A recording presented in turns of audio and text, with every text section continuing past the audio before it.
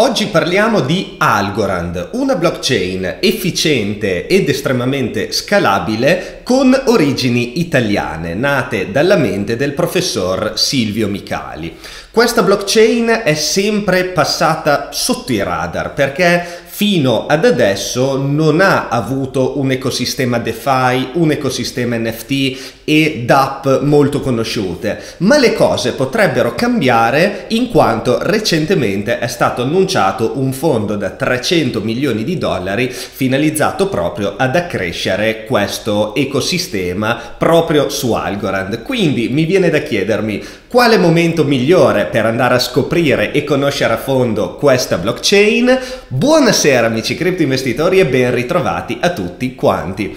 Continua la nostra serie dedicata alla scoperta e allo studio dei vari layer 1 e layer 2, ovvero le varie chain sulle quali girano smart contract, applicazioni, DeFi e quant'altro. Vi ho promesso che le studieremo tutte e così faremo. Da un sondaggio che ho fatto proprio coinvolgendovi è emerso che Algorand vi interessava particolarmente, allora ho deciso di dargli priorità. Oggi andiamo a vedere come funziona e quali sono sono le sue particolarità, andiamo a vedere qual è la sua tokenomics, andiamo a vedere cosa la distingue dalle altre chain, quale può essere il suo futuro, studiando appunto gli sviluppi che ci saranno con focus sull'ecosistema DeFi che potrebbe nascere già alla fine di quest'anno, ma soprattutto all'inizio del 2021. Ci sarà un sacco di materiale, quindi ho le mie solite slide a supporto. Tenetevi forte, tra l'altro le slide slide le potete scaricare come sempre gratuitamente, link in descrizione. Tenetevi forte e andiamo a tuffarci alla scoperta di Algorand. Questo sottotitolo è volutamente provocatorio, ovvero una chain pronta a far parlare di sé? Me lo chiedo proprio perché, come vi accennavo poco fa nell'intro, Algorand è sempre stata un po' poco considerata. Vuoi perché non è esploso il mondo delle DApp come è accaduto su Ethereum e simili, vuoi perché è una chain comunque complicata sulla quale sviluppare, come vedremo ha un suo linguaggio di programmazione specifico e non è per tutti, quindi è molto selettiva, però le cose, ripeto, potrebbero cambiare perché è stato annunciato un grosso fondo per lo sviluppo DeFi, cambierà il linguaggio di programmazione andando verso una direzione più inclusiva e più orientata alla mass adoption, quindi è il momento di capire bene come funziona e se vale la pena considerarla. Come sempre, questo video, come i miei altri video, è orientato all'educational, alla ricerca, alla scoperta, al capire e non vuole essere un consiglio finanziario. Faccio anche un disclaimer, io non non holdo al momento nessun algo e non ho in programma di farlo nel prossimo futuro. Tutto sommato questa chain mi ha incuriosito parecchio e adesso vi spiego anche il perché. Iniziamo dal che cos'è e come funziona Algorand. Algorand è una blockchain ideata, come vi dicevo, dal professor Silvio Micali, un orgoglio italiano perché è veramente una mente, professore dell'MIT, nonché premio Turing, che è un po' l'equivalente nel mondo dell'informatica del Nobel. La chain ha una particolarità nel suo algoritmo di consenso, che è un algoritmo di consenso brevettato e si chiama Pure Proof of Stake. È un proof of stake che, a differenza degli altri, punta ad essere inclusivo verso tutti i partecipanti. Quindi ogni singolo holder della coin algo che la detiene sul suo wallet e la mette appunto in staking può validare blocchi. Non è necessaria una soglia minima, quindi non è necessario accentrare il numero, cioè il, il possesso degli algo in pochi validatori, non c'è una logica di delegation, ma ogni singolo holder, ripeto, può essere un validatore. Viene selezionato in maniera randomica con un algoritmo specifico sul quale non vado nel dettaglio perché eh, diventa poi una cosa troppo tecnica e troppo complicata, ma mm, in sostanza con un peso probabilistico che è proporzionale al numero di algo detenuti, ogni holder che mette in staking i suoi algo può essere randomicamente selezionato ad ogni turno, ad ogni giro di validazione di un blocco che richiede all'incirca poco meno di 5 secondi può venire appunto sorteggiato come prossimo validatore. Questo sorteggio randomico e questo, all, questo staking inclusivo hanno due vantaggi. In primis la decentralizzazione, perché di fatto non si tende ad accentrare il potere di validazione dei blocchi e delle transazioni in mano a pochi, ma è esteso potenzialmente a tutto il network. Inoltre il sorteggio randomico garantisce una maggior sicurezza al network, poiché un potenziale attaccante o comunque un attore malevolo non può sapere in maniera deterministica come, cioè chi sarà il prossimo validatore di un blocco, quindi diventa più complesso pianificare e pensare degli attacchi a danno della chain. La scalabilità è garantita innanzitutto beh, dal fatto che, come vi dicevo, questo, mm, questo, Pure Proof of Stake è molto veloce, la validazione è molto rapida e il tempo di blocco per l'appunto è meno di 5 secondi. Inoltre c'è un'architettura dual layer che in sostanza prevede un layer 1 e un layer 2 nativi della chain Algorand. Il layer 1 prevede l'esecuzione di operazioni che ho chiamato di base, che sono quelle più importanti per eh, portare avanti l'attività on-chain e sono anche quelle meno onerose da un punto di vista proprio computazionale e di carico del network. Sul, e queste vengono eseguite appunto direttamente on-chain. Sul layer 2, al contrario, vengono eseguite le operazioni più onerose. Si può anche pensare all'architettura, ad esempio, di Arbitrum o degli altri layer 2 che abbiamo studiato di Ethereum, ma a differenza del, appunto, del mondo Ethereum, dove il layer 2 è una chain a parte che eh, ha i ponti, ha tutte queste, chiamiamole, inefficienze o complicazioni, in questo caso abbiamo la natività del layer 1 e layer 2 entrambi layer 1 e layer 2 o meglio entrambi ehm, integrati ripeto nativamente su, sulla chain Algorand. Le operazioni più onerose vengono quindi fatte eseguite on chain elab- elaborate scusate off chain non on chain e on chain invece viene portato il loro risultato finale più una sorta di certificazione, immaginatevi. Quindi io eh, porto sul layer 2 magari una serie di operazioni da eseguire come le funzioni complesse di uno smart contract specifico. Il layer 2 le esegue off-chain, fa tutte le operazioni necessarie e avrà un risultato finale. Quel risultato finale viene riportato sul layer 1 insieme a una sorta di certificazione di hash che dice è stato eseguito di fatto in maniera corretta.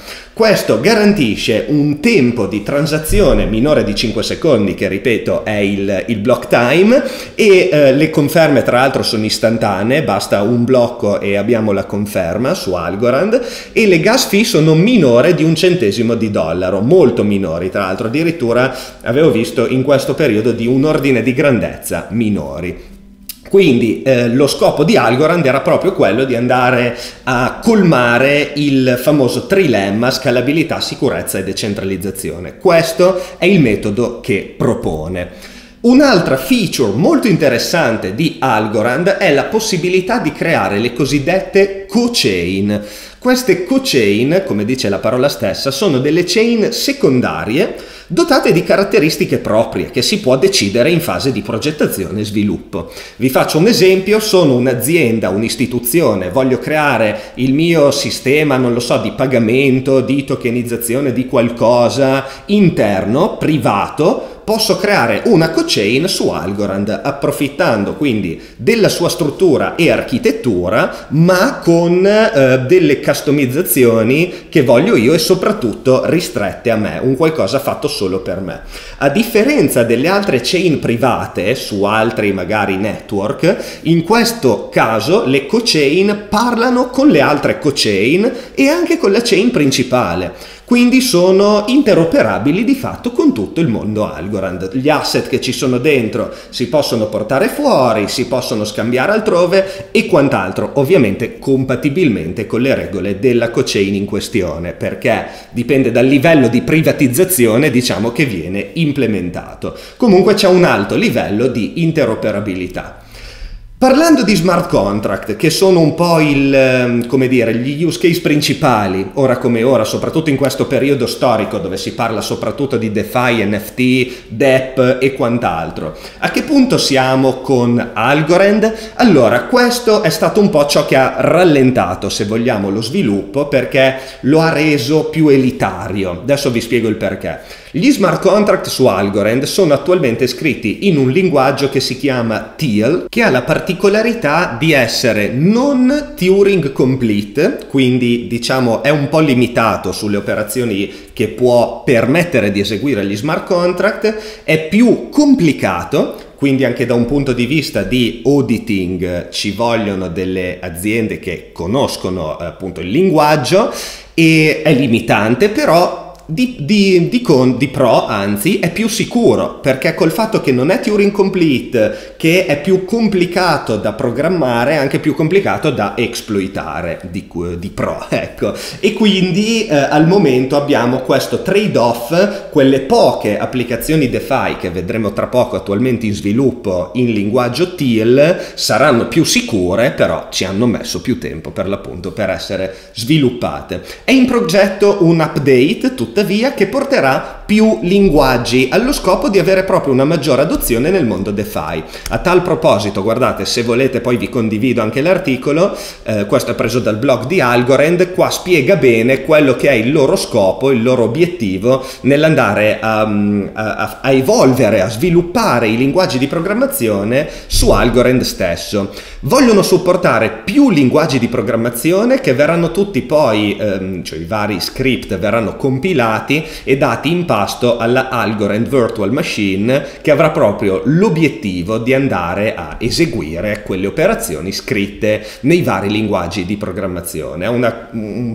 un procedimento simile a ciò che avviene su Ethereum con l'Ethereum Virtual Machine, ma in questo caso con più linguaggi, non solo con Solidity come in, in Ethereum. Qua sotto ci sono alcuni esempi di linguaggi che vogliono andare a implementare, ma teoricamente non sono limitati a questi. E l'obiettivo è anche rendere il, i linguaggi di programmazione degli smart contract su Algorand stesso Turing complete. In questo modo è possibile, vedete, lo dice anche qua sotto, sarà possibile di eseguire, tu, eseguire tutte quelle operazioni che è possibile fare su altre chain come appunto Ethereum, quindi rendendole potenzialmente anche interoperabili con Algorand. Non sarà così facile come portarle da Ethereum a un'altra chain sempre VM compatibile perché il linguaggio è lo stesso, ma comunque sarà teoricamente possibile, ripeto, eh, adottarle su quest'altra chain con tutti i suoi vantaggi, soprattutto lato scalabilità e bassi costi. Tokenomics. Allora, qui è, è, stata fatta molta polemica sulle tokenomics di Algorand, qualcuno dice che è spazzatura, qualcuno dice che è valida per il lungo termine. Vi spiego come funziona. Ci sono innanzitutto 10 miliardi di massima supply di Algo, del token Algo. Buona parte di questa supply, il 25%, è stata allocata ai venture capital o ai cosiddetti early backer, ovvero coloro che hanno fatto nodi grossi in passato, i primi investitori, insomma coloro che per primi hanno appoggiato e hanno investito di fatto in Algorand. Questa supply, questi token allocati a loro sono bloccati, c'è il classico vesting, e vengono rilasciati nel tempo, ok? Quindi un po' alla volta fino a al 2030, che sarà l'anno in cui verranno rilasciati gli ultimi token e si raggiungerà i 10 miliardi di supply, c'è un rilascio graduale. In particolare c'è una procedura chiamata Accelerated Vesting che prevede un, um, un, rilascio accelerato di questi token bloccati. Vi spiego meglio cosa significa. Allora, immaginatevi che voi avete investito in algo all'inizio, siete un venture capital che ha detto bene, voglio investire in algo vi vengono allocati 10 milioni di token, dico un numero a caso, dicendo bene ve ne rilasciamo il 10% l'anno fino al 2030, sempre numeri a caso. Bene, che vuol dire che ogni anno, ogni tot vengono rilasciati nel mercato nuove coin, quindi c'è più offerta e se la domanda comunque non tiene botta oppure decresce, il prezzo diminuisce perché l'offerta genera una potenziale pressione in vendita. L'accelerated vesting prevede che quando il prezzo sale molto, quindi quando vedono che la domanda va ehm, a sopraffare l'offerta, in particolare il parametro usato è che la media mobile esponenziale a 30 giorni supera la media mobile esponenziale a 30 giorni dei massimi storici degli ultimi massimi storici dei 30 giorni, intendo, ok, in media mobile, vengono rilasciati più token del normale, quindi c'è un'accelerazione nello sblocco dei token. Questo cosa causa? Che di fatto quando il prezzo sale viene, viene inondata di più di liquidità la, le, le, tasche degli early adopter, quindi loro possono vendere a un prezzo più alto andando quindi a sopprimere eh, temporaneamente il prezzo. Allora, qui c'è la polemica perché c'è chi dice che è studiata per tenere il prezzo basso, quindi non può aumentare più di tanto perché se aumenta c'è questo accelerated vesting che fa sì che chi ehm, riceve questo sblocco può dampare di più andando quindi a riportare in basso il prezzo e c'è chi invece dice che è una cosa sensata perché è più orientata al lungo termine, è più orientata innanzitutto al, a una clientela diversa, cioè non allo speculatore retail che quindi perde interesse, no? visto che il prezzo è studiato, la tokenomics è studiata per tenere il prezzo un po' soppresso, è meno allettato dal voler fare il cioè voler puntare al 100 per, per dire, nonostante comunque ha avuto buone performance il prezzo al di là di tutto, perché poi l'accelerated vesting non vuol dire un dump assicurato. I token vengono sbloccati, ma non è detto che poi chi ce li ha li dumpa tutti, è solo una potenziale offerta in più. E quindi questo è un po' il ehm, la polemica che è stata fatta a riguardo. Chi dice male perché c'è una pressione in vendita, mi passa la voglia di investirci perché tanto non pomperà mai, bene chi dice manteniamo il prezzo basso, teniamo una, degli investitori molto più orientati a lungo termine, tagliamo fuori i moon boy e siamo tutti più contenti. Questo è il discorso. Il 25% delle, dei 10 miliardi di coin sono allocate ai venture capital e lo staking, attenzione, ecco, c'è una ricompensa di staking e uno dice, beh, ma allora in sostanza ogni nuovo blocco si creano coin e lo, lo staker le riceve. In realtà no, non funziona così perché non viene creato valore dallo staking, vengono sì validati blocchi e quant'altro, ma le fee di transazione vanno alla Algorand Foundation. Quindi le, la ricompensa di staking è la, la foundation eh, che va a dare una parte dei loro token ai vari staker, tutto lì.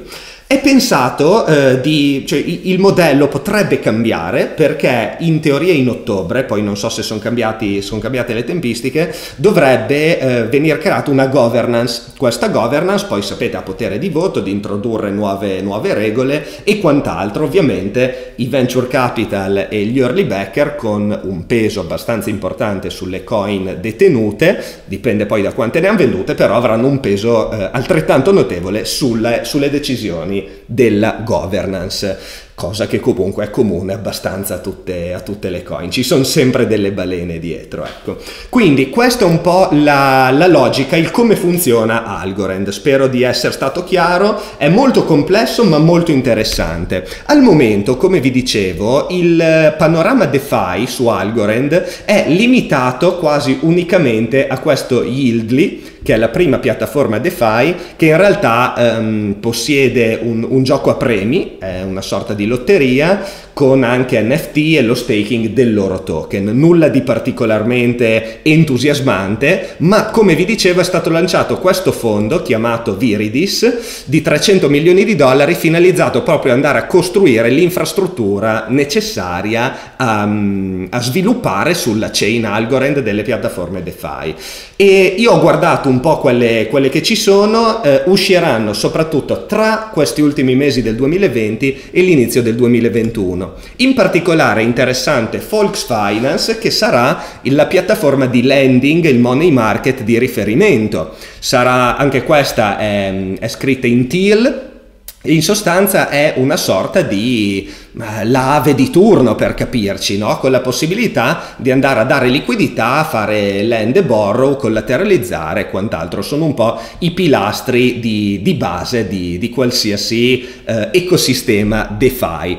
Una volta che usciranno le prime piattaforme di lending, poi ho visto che ci sono alcuni DEX, ci sono un po' di cose in arrivo, io mi aspetto che arriverà anche tutta l'infrastruttura collaterale come i ponti per portare gli asset su Algorand, per perché comunque adesso un'altra cosa che manca sono tutti gli asset tokenizzati su Algorand, che vi ricorda una chain a parte, quindi è un po' isolata, questo è il suo contro attuale. Se questi 300 milioni e tutta l'evoluzione del mondo DeFi porteranno a una maggiore integrazione di Algorand con eh, tutto il resto del mondo e magari perché no qualche protocollo di comunicazione tra lei e le altre chain, allora sicuramente avrà una grande accelerazione. Insomma, i presupposti mi sembra che ci siano, stiamo a vedere ora tra fine 2020 e inizio 2021 che ci saranno, sono, eh, sono i periodi decisivi, ecco, quindi stiamo a vedere che cosa accade proprio in questi mesi e poi capiremo meglio quale può essere la sua direzione futura.